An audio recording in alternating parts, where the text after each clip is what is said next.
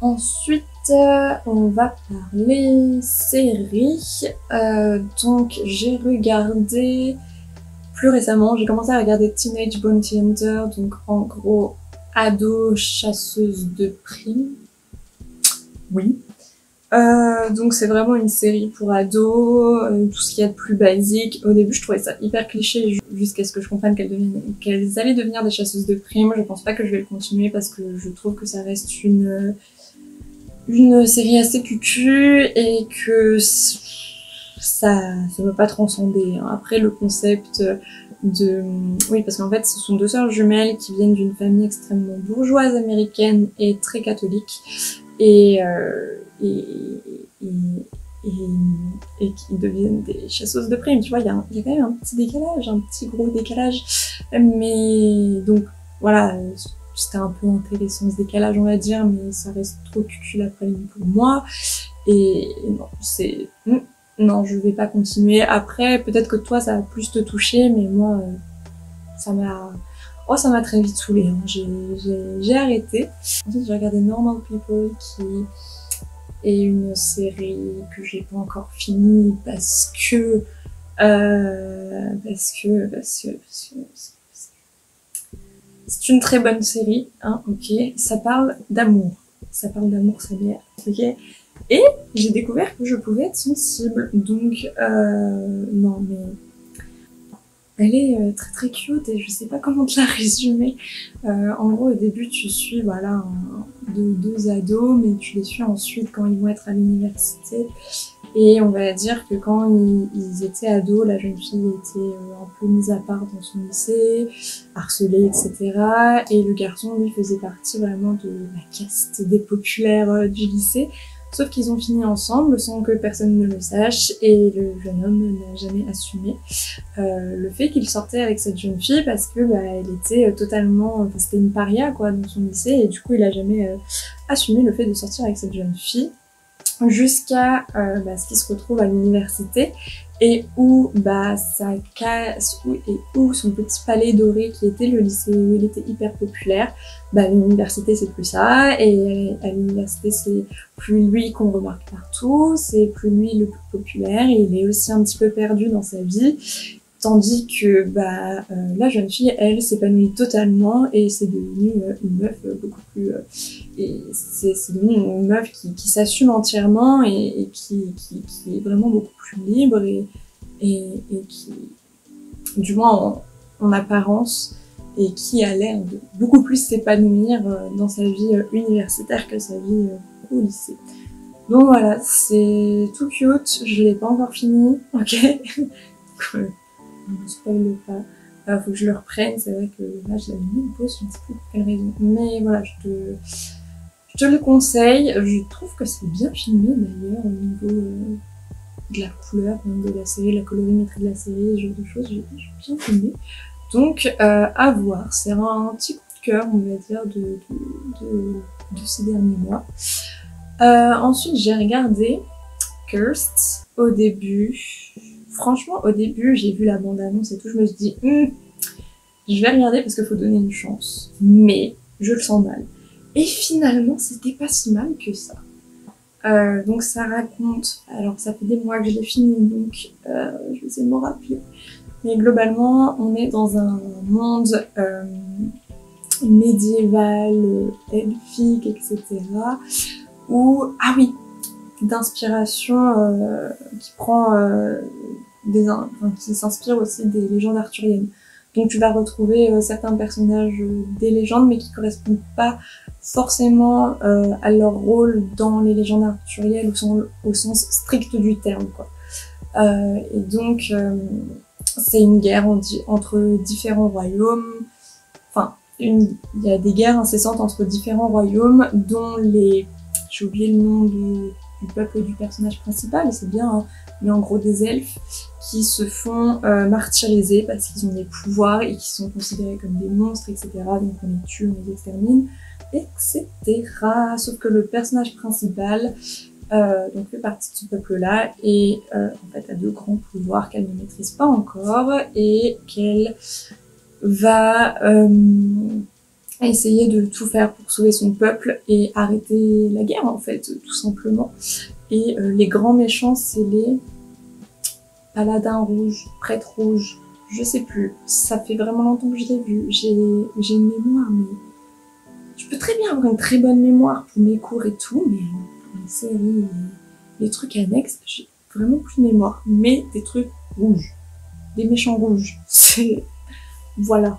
J'ai dû mettre le nom ici donc euh, t'auras le nom. Euh, donc ouais, je pensais vraiment que ça allait ne pas être une bonne série et étrangement, bah, j'ai été assez surprise, c'est pas si mal que ça, c'est pas non plus un grand chef-d'œuvre, mais franchement ça passe de ouf. Euh, le jeu des acteurs est parfois un peu inégal, hein. Il y en a qui jouent un peu mieux d'autres, donc bon, voilà. ah oui, et le personnage principal pour te donner une petite référence, c'est celle qui jouait Anna Baker dans 13 Reasons Why. Donc euh, voilà. Donc ça fait bizarre de l'avoir euh, en tenue médiévale pas en train d'aller déposer des cassettes euh, chez ses anciens camarades. Donc voilà, c'était c'était pas si mal que ça. Vraiment, j'ai été surprise. Et enfin, j'ai regardé Euphoria. Enfin, enfin, c'est plus que je l'ai enfin fini plus qu'autre chose. Euh, j'ai trouvé que c'était une bonne série, mais je t'invite à aller regarder euh, la vidéo de Clarinette sur... Euh, elle parle à la fois d'Euphoria et euh, de Scam France sur la représentation euh, de la sexualité adolescente dans les séries. Donc je te recommande d'aller voir ça. Je suis assez d'accord sur ce qu'elle a pu dire. Donc euh, je te conseille pour compléter ce que je vais dire d'aller voir ça. Euh, je trouvais quand même que c'était une bonne série et, euh, qu'il y avait un esthétisme fou dans cette série, au niveau des tenues, du maquillage, de la, chlorométrie, bien sûr, de la, de la colorimétrie, etc. Euh, c'était sympathique à voir et la BO, je l'ai kiffé de fou. Euh, globalement, ça raconte quoi? En fait, tu vas suivre euh, surtout des personnages féminins plus que masculins, mais quand même.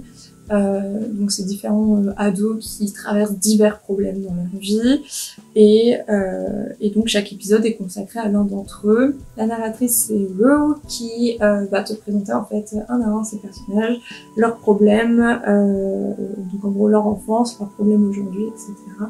Et donc ça va aborder plein plein de sujets. Ça peut être par contre une série peut-être un peu brutale pour certains, si tu as des triggers sur euh, les relations toxiques, euh, les, relations sexuelles pseudo-consenties, on va dire, donc voilà, les violences sexuelles, ce genre de choses, ça, ça peut te trigger. Donc voilà, ça parle aussi de drogue, euh, ce genre de choses. Donc euh, je préfère quand même avertir à chaque fois.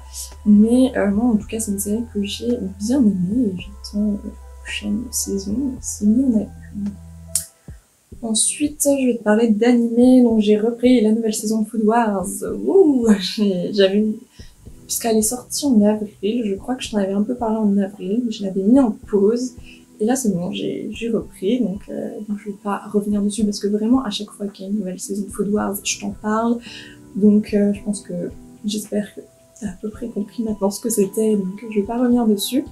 Et j'ai vu un autre animé qui est Beastars, je crois que c'était ça le nom, euh, qui est un seinen, je dirais, qui met qui parle euh, d'une société où en fait une société uniquement euh, d'animaux où tu as du coup évidemment les prédateurs, les carnivores et les cibles, les végétariens, les herbivores, les végétariens n'importe quoi, les herbivores.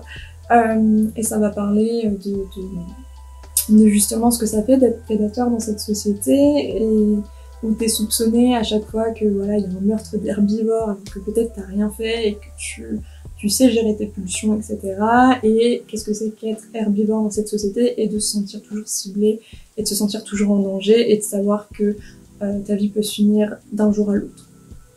Voilà. Et que ta vie peut se finir d'un instant et que ta vie peut se finir en un instant. Voilà. Euh, donc c'était assez intéressant, surtout que ça va surtout parler d'une relation entre un loup et un lapin. Euh, donc normalement des, des, des, animaux qui sont pas censés bien s'entendre, tu vois, qui sait rien, rien se faire entre eux à part le loup qui mange le lapin, tu vois. Donc euh, c'est assez intéressant de voir ça. J'ai beaucoup aimé les dessins. Par contre, au niveau de l'animation, parfois c'était...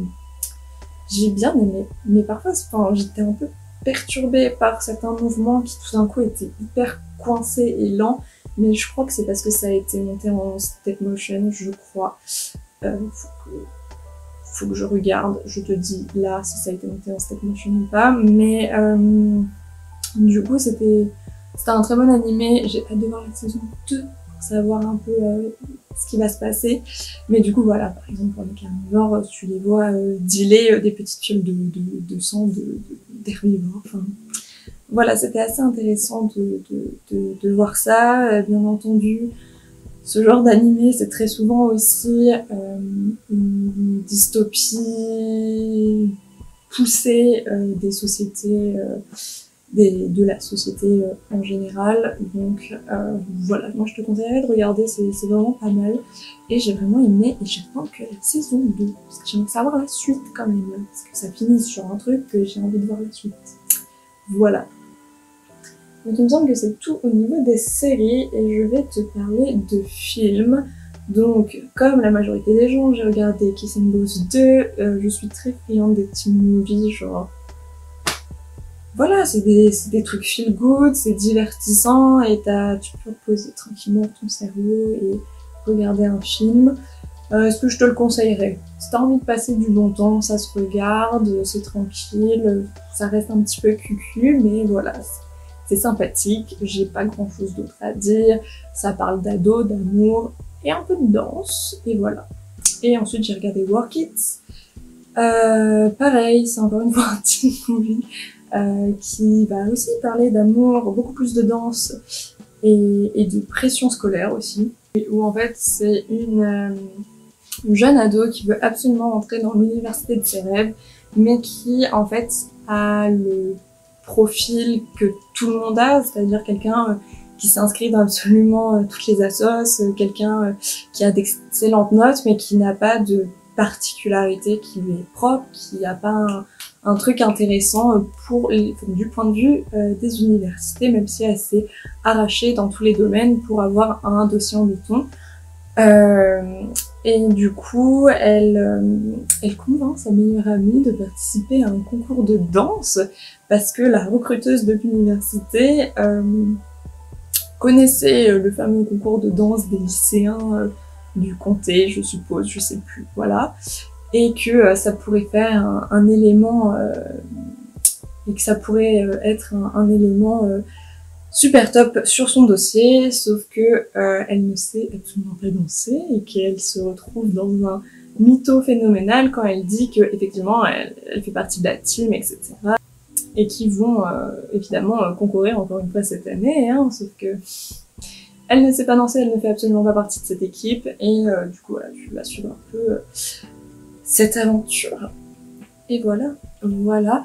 Et pour finir, dernier film que j'ai quand même un petit peu plus apprécié, je suis allée voir Tenet, du coup qui est un film qui raconte l'histoire de antagoniste. le personnage n'a pas de prénom dans ce film, il s'appelle Antagoniste, qui euh, va devoir déjouer les plans euh, d'un méchant qui essaye de détruire l'humanité. Voilà, donc euh, le scénario d'un film d'action assez classique, sauf que ici, a une nouvelle technologie qui est apparue et qui en fait... Putain, comment je vais expliquer ça? Sachant que je suis nulle en sciences. je suis nulle en physique, alors attends. En gros, ils ont réussi à construire une technologie qui fait que tu peux euh, remonter... Bon, en gros, attends. Attention, explication à deux balles. T'as la temporalité présente, t'as la temporalité passée, et globalement, ils ont réussi à pouvoir voyager entre la, temporalité, passée et la temporalité présente, mais pas voyage euh, dans le temps en mode je retourne dans les années 80. C'est pas ça, c'est plus euh, en mode je retourne à il y a quelques jours pour pouvoir tout déjouer et pour euh, pouvoir réparer les bêtises que j'ai pu faire pendant une mission, par exemple, ou euh, détourner les plans de bidule, machin truc. et voilà. Et du coup, ça va jouer sur toute cette inversion, puisque comme tu es dans une temporalité euh, passée, en fait, il y a tout qui est inversé, donc quand tu marches, tu marches en, inversé. Ça fait sens ou pas Oh my god.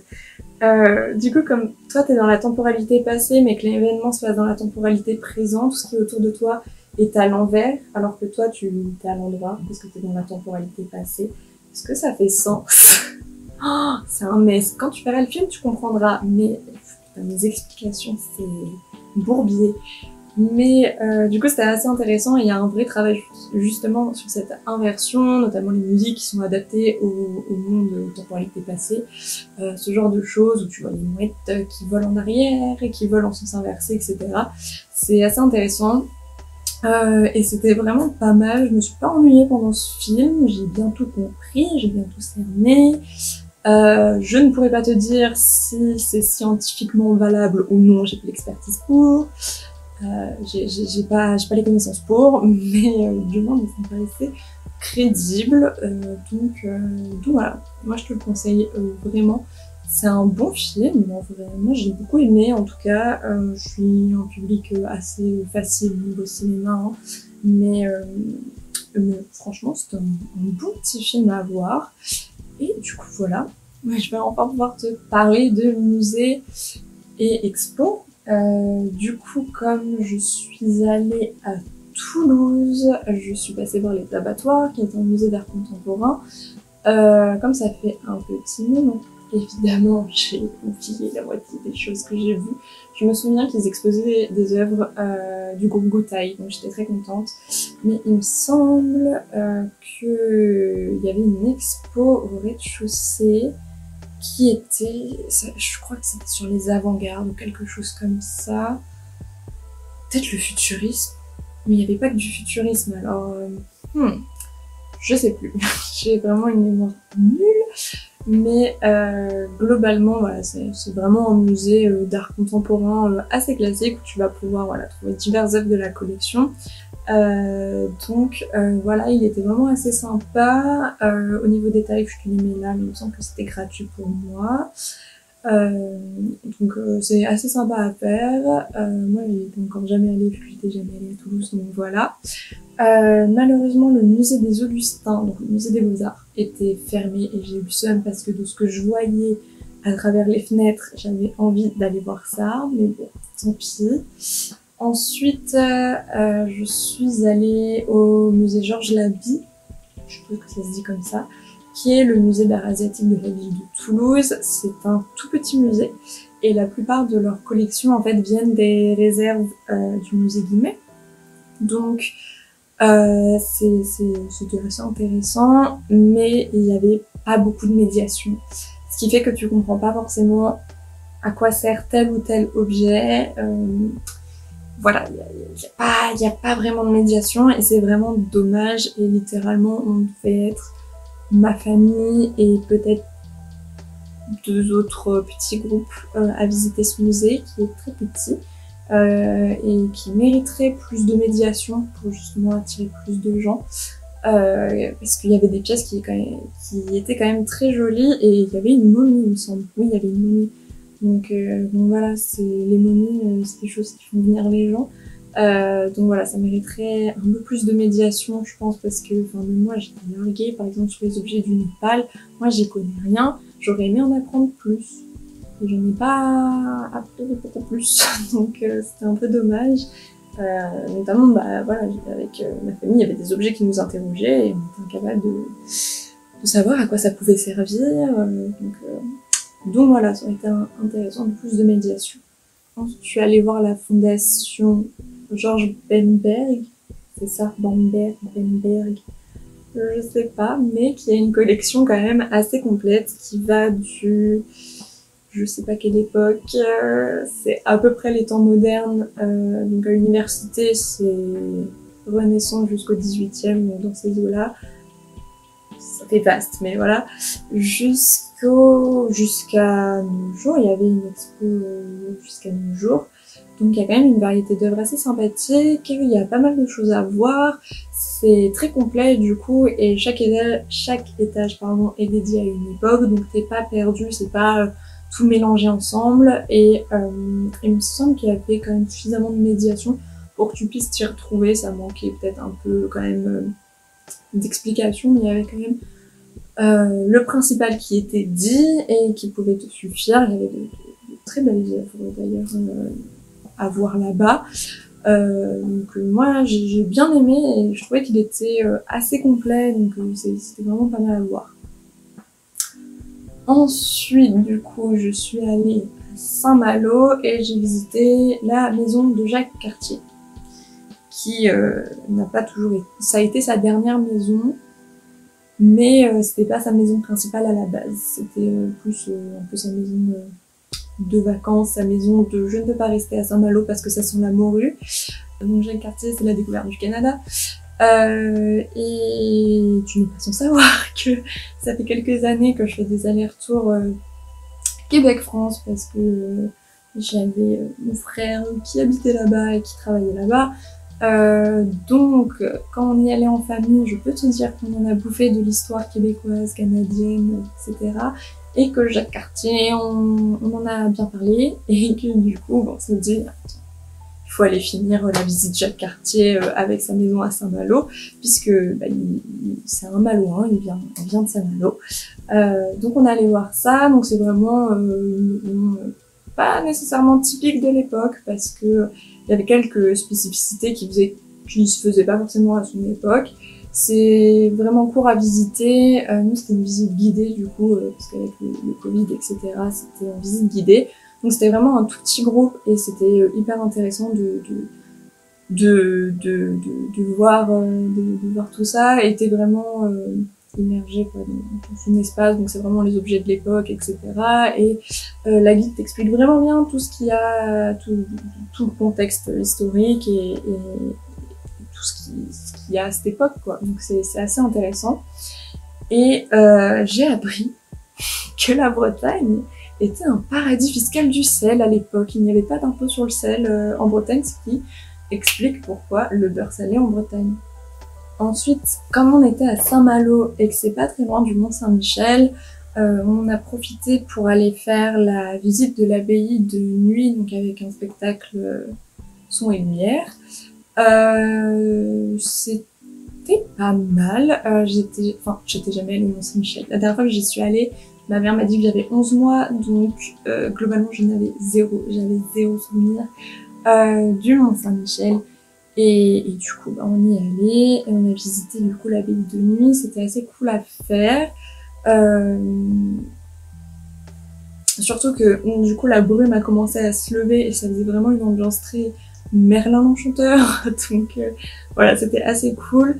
Euh, le Mont Saint-Michel, du coup, bah, j'ai bien aimé. du coup, vu que ça faisait... Euh, je vais quand même avoir 22 ans à la fin de l'année, donc euh, tu vois, 11 mois, 22 ans, bon, voilà il y a eu euh, quand même un gap énorme entre et du coup euh, c'était plutôt cool à voir. Et ça, ça, ça m'a laissé un bon souvenir il me semble. Euh, donc voilà, donc c'était plutôt cool, surtout que bah du coup, comme je suis partie à Saint-Malo, j'ai pu faire mon pèlerinage caruché qui a fait des vues touristiques et du coup voilà, ça m'a fait rire quand j'étais sur des lieux qu'il a pu dessiner, ça m'a ça m'a fait rire comme tu tu as peut-être pu voir sur Instagram, mais du coup voilà, je suis allée faire euh, l'expo Picasso euh, au musée Picasso. Donc c'est pas seulement euh, le lien entre les œuvres de Picasso et euh, la BD et l'esthétisme des BD, mais c'est aussi les auteurs de BD, les illustrateurs de BD qui euh, reprennent des œuvres de Picasso ou la figure de Picasso en général. Donc c'était assez intéressant, il y avait suffisamment de médiation et si tu y vas euh, là, tu peux avoir l'audio guide gratuit. Donc, euh, donc je te conseille parce que ça te permet d'avoir des explications si tu connais vraiment rien du tout. Moi je t'avoue que les audio guides au bout d'un moment ça me saoule de les écouter et je, fais ma vie. C'était une expo qui était quand même bien faite, qui est accessible aussi aux enfants. Il y a des petits jeux pour les enfants, euh, voilà, des petites questions euh, pour qu'ils s'intéressent aux œuvres et qu'ils les regardent vraiment. Euh, pour un petit peu voilà, divertir pendant les expos qui peuvent être un peu longues pour un enfant. Donc ça c'était plutôt cool. L'audio guide peut t'aider toi si comme je l'ai dit tu n'y connais pas grand chose. il y a des, des, des très belles œuvres. voilà, c'est quand même, c'était quand même une bonne expo. Et ensuite, du coup, j'en ai profité parce que j'y suis allée avec ma mère, donc on en a profité pour continuer la visite du musée qui se découpait en différents chapitres. Euh, par exemple, il y avait Picasso poète, quelque chose comme ça. Moi, je t'avoue que je suis un petit peu moins sensible euh, à la poésie, à l'écriture, etc. Je sais, alors que j'ai fait un mémoire sur euh, un illustrateur entre la presse et la bibliophilie, mais je suis un peu moins sensible personnellement à ce genre, de choses. C'était quand même assez intéressant à voir. Euh, je t'avoue qu'au bout d'un moment, ça devenait un petit peu long. J'en avais un peu marre. Euh, mais, mais voilà, il y, a, quand même évidemment des œuvres de Picasso, donc si tu aimes Picasso, vas-y. Je t'avoue que moi, avec la licence où on nous a rabâché Picasso, Picasso, Picasso, et que bah, chaque année, il y a plusieurs expositions sur Picasso, etc., je t'avoue que je commence à en avoir un petit peu marre. Je l'aime beaucoup, ce n'est pas un souci. Enfin, du moins, j'aime beaucoup ses œuvres, ce n'est pas un souci, mais je t'avoue que je commence à faire une overdose de Picasso. Euh, mais, évidemment, ça reste une figure très très importante dans l'histoire de l'art, bien entendu. Donc voilà, je te conseillerais d'aller voir le musée si tu connais pas du tout Picasso. Euh, et, si tu t'intéresses aussi peut-être à la BD et à la relation que peut avoir Picasso avec celle-ci. Et, euh, euh, l'intégration de Picasso dans ces BD, ça peut être euh, assez intéressant à voir. C'est tout. Au niveau des visites culturelles, et bah, ma foi, c'est quand même, euh, c'était quand même un, long, un long bilan culturel. J'espère que tu as peut-être pu trouver des choses à aller regarder, écouter, lire. J'ai mis à jour ma playlist normalement. Et euh, bah moi je te retrouve dans une prochaine vidéo qui va très sûrement être un bilan de mon master. Donc voilà, je te retrouve la semaine prochaine. Salut